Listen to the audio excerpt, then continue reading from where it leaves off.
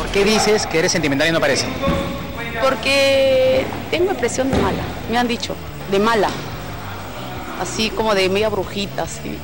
¿Tú lo crees o no? Creo que sí, porque mi hijita también me lo ha dicho, ¿Tu hijito te ha dicho qué cosa te ha dicho? que tengo cara de mala. Sí, ¿En serio? sí, así es. Me ha dicho, mamá, ¿por qué tienes esa cara? ¿De qué, hijito? Le digo, de mala, mírame bien, me dice.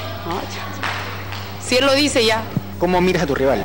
No, la verdad que yo no trato de no mirarlas, porque algunas son amigas mías y, me, y me- me es difícil ya, por ejemplo, luchar con ellas si son muy íntimas o si les tengo cierto nivel de aprecio, me es difícil. Entonces yo entro, lucho, ni las miro.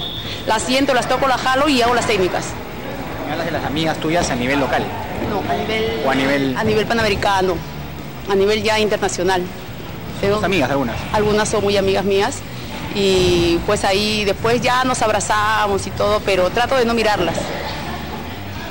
Porque me pone nerviosa, claro, porque aunque no parezca yo soy muy sentimental. Y entonces me, me da pena realmente a veces cuando uno les gana, cosas así. Entonces yo termino y hasta cuando termino les gano, me disculpo a veces. Discúlpame, le digo, lo siento. Al, pro- al profesor de la esquina también, entrenar, lo siento, profe, gracias. Le digo y ya y me retiro, pues, ¿no? Da la impresión que te estuvieses burlando.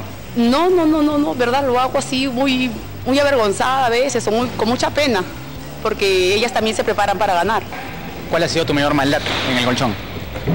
Mm, sin querer, a veces he hecho luxaciones en las rodillas, unas tres más o menos, y ahí es donde a veces he agarrado un poco de temor a hacer algunas técnicas, porque las he dejado llorando ahí en el colchón y me ha sido bastante penoso para mí. Han parado los combates, los médicos, por esas situaciones, y eso siempre tengo un poquito de temor yo. ¿Cómo te visualizas tú en los Juegos Olímpicos? En Río de Janeiro, ¿cómo te ves? Como yo pienso clasificar ahora en el Mundial, creo que estamos en el nivel para sacar por lo menos un bronce en los Juegos Olímpicos. En serio.